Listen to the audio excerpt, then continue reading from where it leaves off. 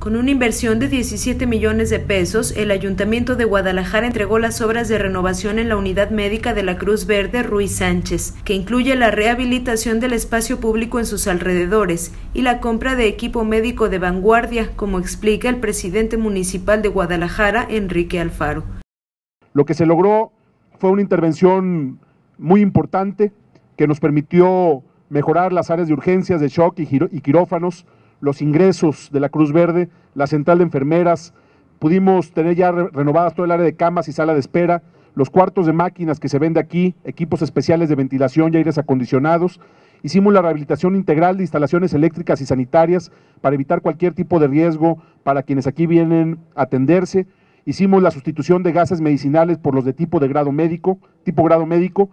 Hicimos o eh, se hizo también la instalación de cámaras en ingresos con huella digital para mayor seguridad, se creó un área de vestidores y baños para los médicos, se instala por primera vez, y ustedes lo pueden ver ahí, con equipo de primera,